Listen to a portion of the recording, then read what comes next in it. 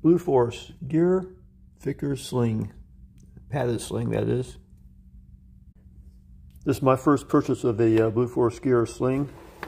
And I got the uh, padded version, which actually feels, that feels pretty good.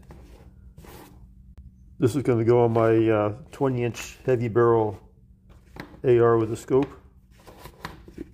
And actually this, this is a heavy rifle. And I was hoping this uh, padded sling will help with that.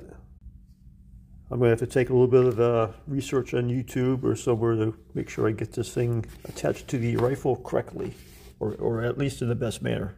It looks like it's pretty well made. So, there we go.